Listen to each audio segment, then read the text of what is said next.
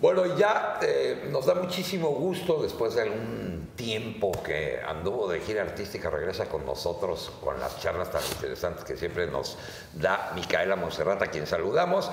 Mica, buenos días, bienvenida, ¿cómo estás? Hola, muy hermoso día, estoy muy, muy contenta de estar con ustedes de nuevo, de compartir. Muy feliz. ¿Cómo estuvo la gira artística? Cuéntame, ¿dónde andabas? Mm, estuve algunos meses por la India, estuve en la selva maya haciendo trabajos de, sanación, sanación con la voz, eh, trabajo de movimiento corporal y liberación de emociones y energéticas y ya estoy a punto de regresar a casa. Qué maravilloso. Oye, y regresando para acá, para casa también, eh, pues nosotros ya terminando el año y queremos saber de qué manera podemos pues alinear todo, todo lo que deseamos con todo lo que podemos hacer, con nuestras acciones, de qué manera podemos lograrlo. Claro, es algo súper importante para crear la realidad que de verdad queremos, crear la vida que queremos vivir es importante tener una alineación entre lo que necesitamos, lo que queremos y lo que deseamos.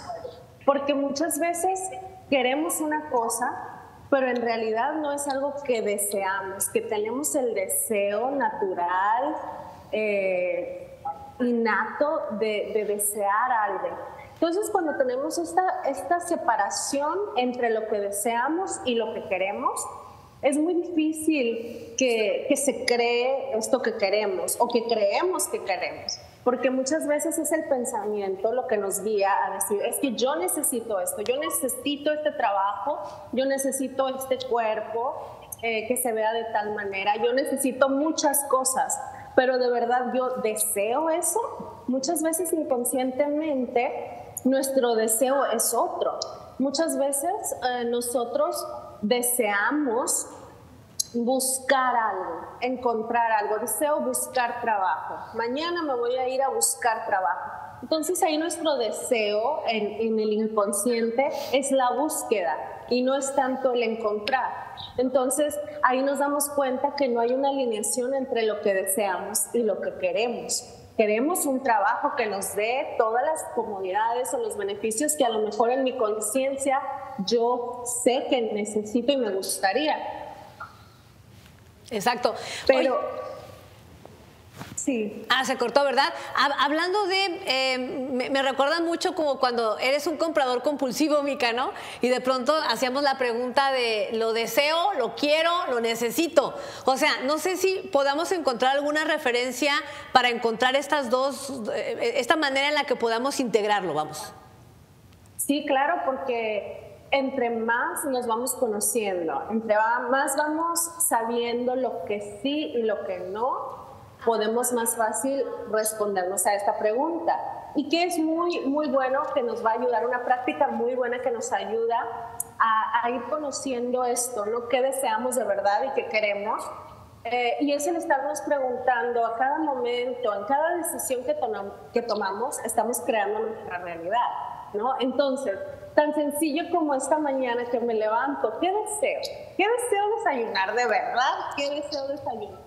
¿O qué quiero desayunar? Tal vez yo quiero desayunar algo muy saludable porque quiero bajar de peso y quiero mantenerme saludable, pero en realidad yo deseo algo dulce, indulgente, así delicioso.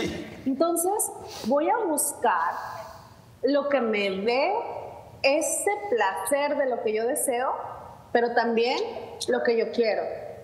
Entonces, ¿qué podría hacer? A lo mejor, y no me doy unos pancakes así súper llenos de crema, porque indulgentes, dulces, pero a lo mejor me puedo dar una versión saludable, tal vez de vegetal, tal vez de algún grano, y sin crema batida, pero a lo mejor con frutos. Y me estoy dando lo que deseo y lo que quiero y necesito.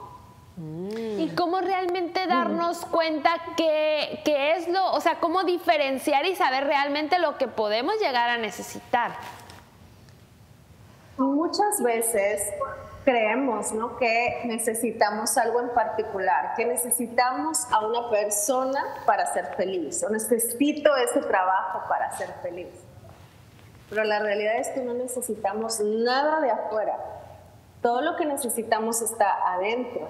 Pero para reconocer y sentir esto como una realidad propia, hay que hacer el autoconocimiento, hay que hacer el recorrido de, conocimiento personal.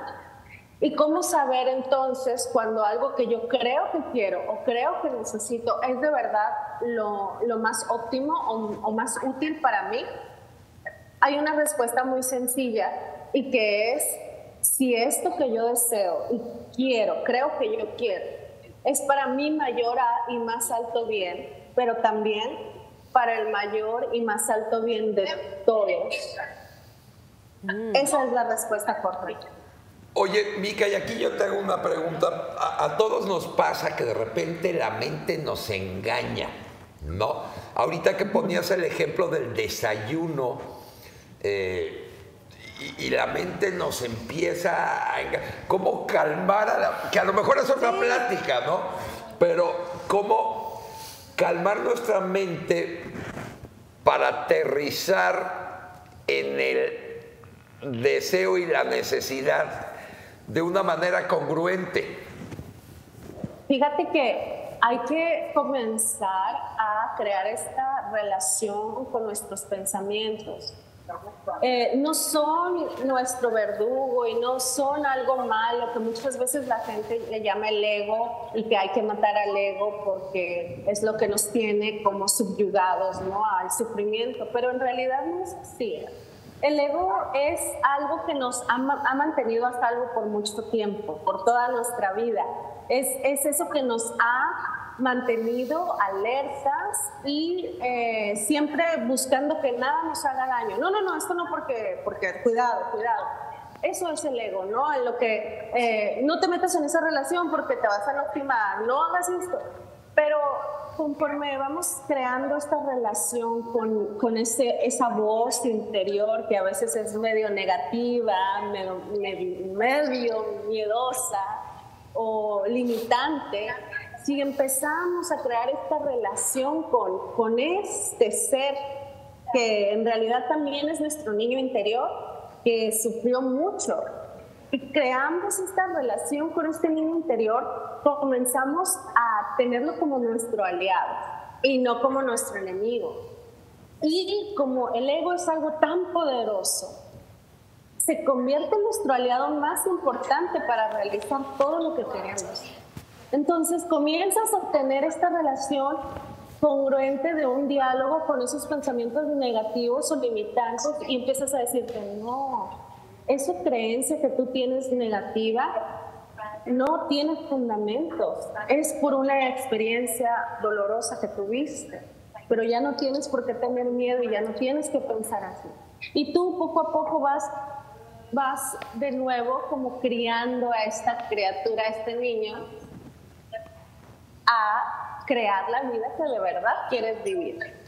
Qué bonito. Pues es eso, ¿no? El, llegar a ese punto en donde conectemos todas estas, estas cuestiones para poder seguir el camino que realmente queremos y poder llegar a él. Micaela, tus redes sociales, ¿en dónde podemos encontrarte? Eh, pueden seguirme por Instagram, eh, Mika Sakshi, todo pegado, Mika Sakshi y también en Facebook Micaela Monserrat. También tengo eh, mi espacio que es Sakshi Yoga Centro Holístico, donde pueden encontrar información y cualquier cosa que me quieran preguntar directamente. Perfecto.